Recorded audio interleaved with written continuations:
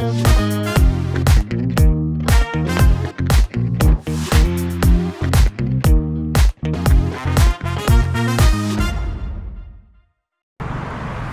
안녕하세요. 다둥이차 이범입니다.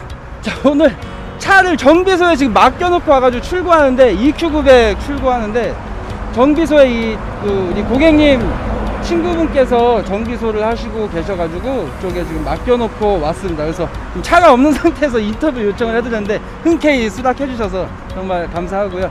이쪽은 안양입니다. 안양에 와서 이제 EQ900 한 번에 보시고 바로 연락 주셨어요. 저한테. 어떻게 저 이렇게 다둥이 차 믿고 구매할 만 하신가요? 네, 아, 너무 좋았습니다. 오늘 차가 성능도 좋고 좋은 차 사서 너무 좋습니다.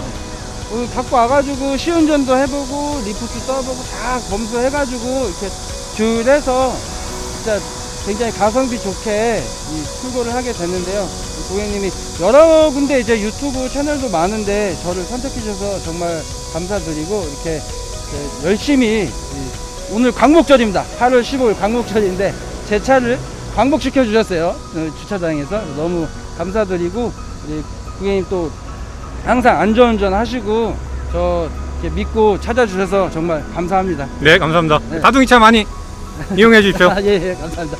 이상 그 EQ900 출고 영상 마치겠습니다. 감사합니다. 네, 감사합니다. 네.